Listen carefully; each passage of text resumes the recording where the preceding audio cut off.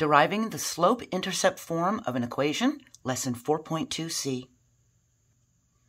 In this lesson, we're going to explain the source, the origin of the slope-intercept equation. We've got y as our output, m as our rise over our run, our slope, x as the input, and b is where the line crosses the y-axis. It's the y-intercept. So the first thing we're going to do, step one, is we're going to let L be a line with slope m and y-intercept b.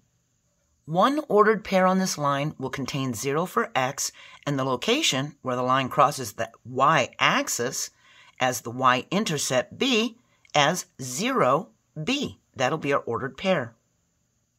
Here's step two.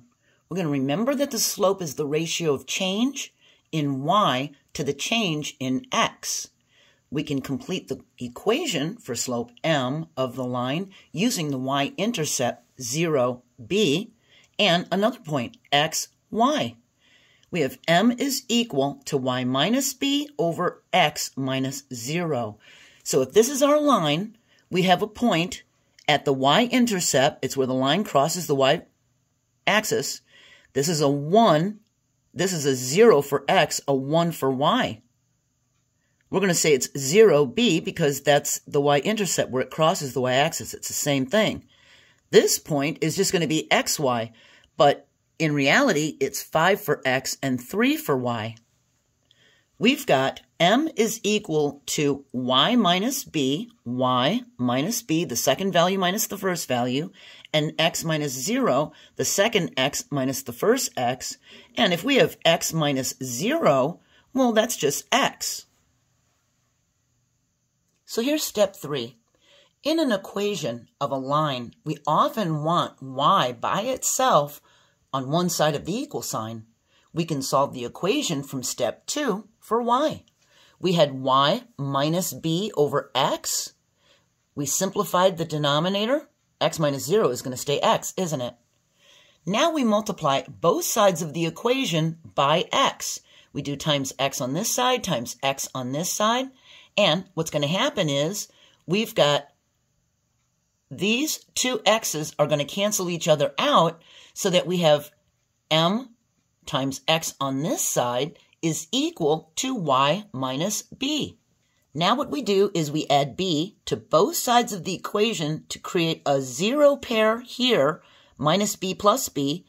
On the left side, we get mx plus b, and on the right side, we have y we rewrite the equation with y on the left side. We have y is equal to mx plus b, an equation in slope-intercept form. When the slope of a line passes through the origin at 0, 0, the y-intercept b is equal to 0. The location where the line crosses the y-axis is 0. This means the equation can be written as y is equal to mx, since plus 0 will not affect its value. We don't have to put plus b at the end of this for plus 0. That's not going to affect its value. We can just write it as y is equal to mx. We can determine the slope and y-intercept of an equation by just looking at the equation. Here we have y is equal to 5x plus 4. We know that this value, this would have been the m value, that's the slope. The slope is 5. That means the rise over run is a 5 over 1. It's the coefficient of x. The y-intercept is 4, the b value of the equation, which is the constant. Every line of the form y is equal to mx plus b has a y-intercept of b. We can prove this by substituting 0 for x. If we have y is equal to m times 0 plus b, we're going to have y is equal to m plus b.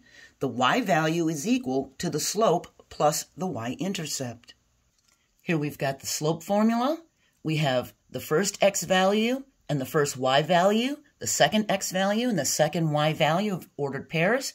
Remember to subtract the x values in the same order we subtract the y values to get the correct answer. If we're starting with the second y value and subtracting the first one, we can't start with the first x value. If we start with the second one, we've got to start with the second x value. Also, remember, if the line falls to the right, the slope will be a negative number.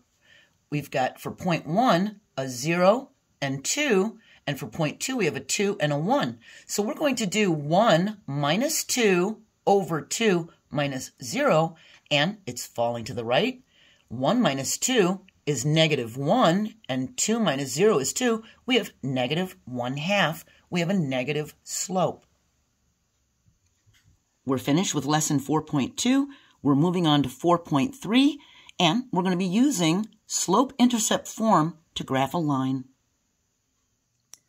I hope you enjoyed the rest of your day, and I hope you join me for the next lesson. Bye.